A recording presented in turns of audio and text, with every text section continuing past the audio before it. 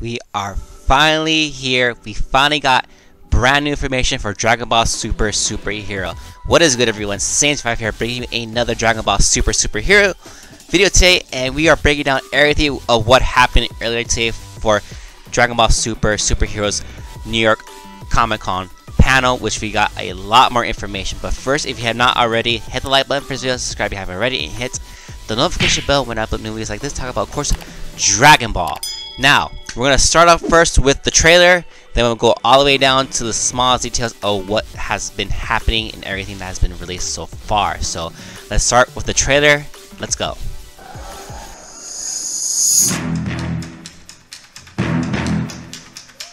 Alright.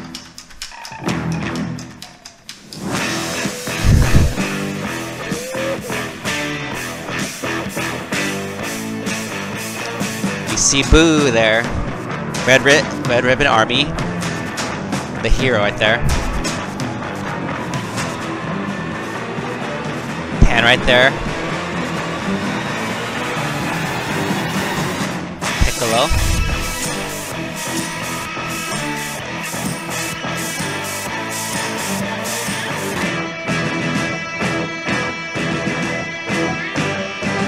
This is so hype. Really, really hype. That was really, really hype. That was really, really good. Alright. So there was a lot of stuff to break down, obviously. It's gonna go right here. Right there. We finally see our first new images of some of the new characters that obviously you can totally tell they're Toriyama design right there. So you can see right there, um, this uh, we don't know if it's this the actual the same character, the little, the little kid right there, but you can see right there. Um, so he's somewhat wearing the same attire as this. We we have not talked about this a lot that I've seen from the community about this superhero. Looks like standing next to whoever. Um, this it looks like a bad guy of possibly the net new Red Ribbon Army right there. That's it right there. I'm gonna actually turn down the volume for this right here. So right there. So I'm gonna go we're gonna break that break this down early. That's him right there. You gotta assume that the guy that's driving there is obviously him, and of course you can see um, whoever that is. And obviously we know that the Red Ribbon Army is back. So that it is the organization in the shadows. And we get, surprisingly, Goku and Vegeta. Ve there like speculation of whether or not Vegeta would be in this movie, and obviously can tell he is. But you can see right there, he's wearing his um Badman outfit with the pink shirt and the yellow pants. So interesting that they actually took this. You can see right there, Gamma 1 and Gamma 2 there already. And it's interesting right there. And in the side over here, you get to see um, a pod. So we don't know what that entails so far. You can see Boo, but with a very evil look on his face, like a smile as well. So interesting that they have Boo there already.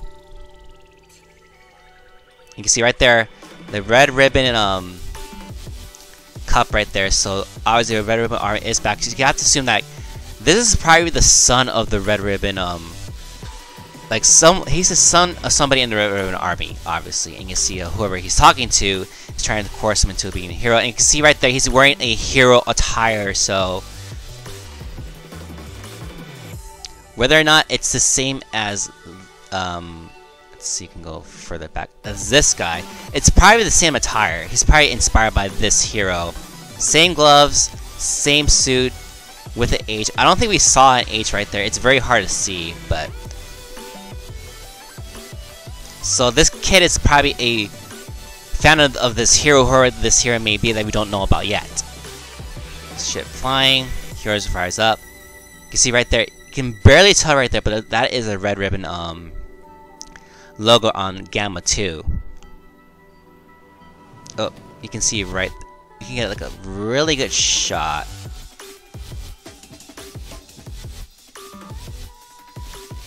You can see barely tell right that that is the Red Army. So we don't know if these uh, Gamma 1, Gamma 2 are invented by the Red Army or they are from space and they decided to come to Earth to, to help out the Ribbon Army by being lied to and to take out Goku and Vegeta. Obviously, this has to do something with them. and possibly with Cell and the androids. Possibly no Cell in this movie, but what if he does come back? That'd be kind of crazy if he does, and that's the big reveal. But overall, there's still a lot of speculation to see. Pan training, power her key. Goku right there. Um, that was a super quick shot. Obviously, Goku is in Beerus' planet right there in the background. Piccolo right there, possibly being shot up from Gamma 1, Gamma 2. Now, obviously, uh, we can tell already, Piccolo will be training Pan in this movie, so that's really cool to see that Piccolo's taking more of a mentor role with Pan, obviously being a babysitter, and obviously going and asking Piccolo, or maybe Piccolo himself decided to take up the task of training Pan.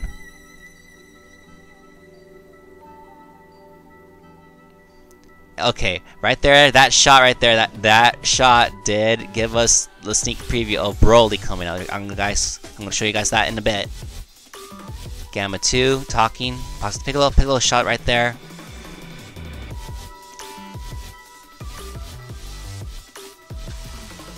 And yeah, and not a lot of people were talking about this, but Mr. Satan is right there in the background. Obviously, um, Gamma 2 doing his little pose right there of Super. I am convinced right now that Gamma 1 and Gamma 2 are heroes. It's just they got tricked into um, taking out Goku, Vegeta, and Mr. Satan and Boo. So, a lot is taken care of. So, let's go down to the other stuff that was not talked about in this trailer. So, I'm to go right here with um, Tanuki Joe, or Tanuki Kuribo. You can see the, the figurines for Dragon Ball Super Superhero. Obviously, you see Vegeta's in his um his Boo outfit, all black, not the dark blue that we're used to. You can see right there, um, Goku right there, and you can see Piccolo. You can see Gamma 1, Gamma 2. You can see a little bit more right there. You see, go, uh, ah, it is dark blue. So you see, Vegeta will definitely be in this movie right there. They didn't make a figurine for him. How much of an impact it will have, we'll have to wait and see. Um, especially when this movie is taking place. This movie takes place 10 years after the Boo Saga, around 10 years before this, um, 10 years, but apparently it takes 2 years before the 28th Tenkaichi Budokai, so right before Goku meets Oob for the first time during that tournament. So, obviously, if we know anything from this movie, Goku should not be meeting Vegeta up as of yet, but maybe they have been. As of course we know from that one line from Bulma talking about how they have not seen Goku for five years, so they should not be meeting or interacting during this movie that we know of. But obviously things could change. You can see right there Gamma 1, but he does not have the red ribbon um, logo on his arm, so possibly they got given that patch later on in the movie, so possible hints that they actually are good guys. See Gamma 2 right there, he does not have the patch right there, you can see right there, does not have it there, so I'm totally convinced that they are heroes that just got tricked into helping the Red Ribbon Army, possibly in this movie. And that will be it for right now for the the figurines. Now you can see right there, um, this is from Geekdom. As I was talking about, Dragon Ball Super is not 10 years after Buu Saga, but the end of Z is. This was a mistranslation that was during the panel. Dragon Ball Super takes place during the, those 10 years based on the images of Dende and Pan, which we'll, I'll show you guys in, in, a little bit. This is presumably anywhere between one and two years before the end of Z, as I just said. So yes, there's that.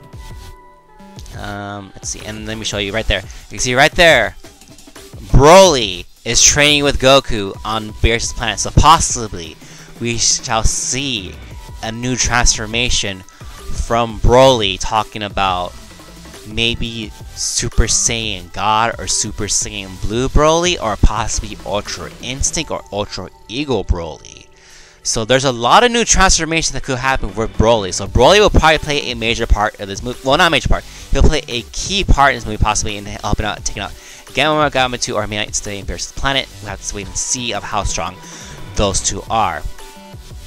You see right there, um, Dende right there, grown up now, taller now, which I am happy to see. So he does have a little bit color outfit, but it's nice to see that they give a little upgrade to Dende right there. And you see Bulma still looking fairly young, two years before she gets um, quote unquote older at the end of the Z, so she probably had a major um, aged she aged pretty quickly during those two years span right there. So you see her, her um, jumpsuit for Capsule Corp right there with her little shoes right there. So Bulma will play a part of this movie, of course. And like um, Karin, or some of you guys may know as um, Korin, but Karin as for the official translations or official Japanese um, pronunciation of this character right there. So you can see that right here. And we'll go lastly with Herms talking about this. So yes, Gamma 1, Gamma 2, presumably the Greek letter for um, that, that is written on the little belts for Gamma 1 and Gamma 2. You can appreciate all the time and effort they put into positioning that to properly.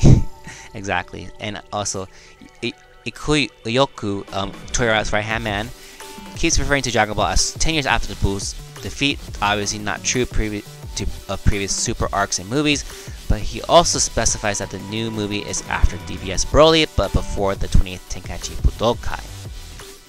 So, make sure it's before the manga. Based on the pan and Dende design, it seems like the movie must be pretty close to 20th, 20th Tenkaichi Budokai. So, it is somewhere within the time 10 years after Boo. And after right here, of, of course, talking about the Red Ribbon, Iyoku was initially cagey about the appearance of the Red Ribbon in the movie.